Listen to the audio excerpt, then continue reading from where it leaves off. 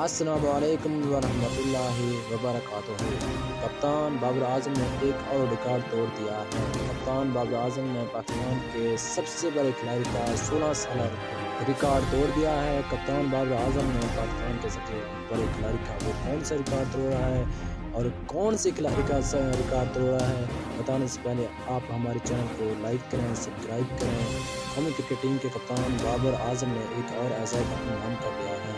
बाबर आज़म बाबर आज़म एक साल में सबसे ज़्यादा इंटरनेशनल रन बनाने वाले पाकिस्तान बन गए हैं। इससे पहले ये रिकॉर्ड यूसुफ के पास था ने 2006 में चौबीस रन बनाए थे, जबकि बाबर आज़म इस साल टी ट्वेंटी इंटरनेशनल में सात सौ पैंतीस, वनडे में छः और टेस्ट में एक हज़ार से ज़्यादा रन बनाने में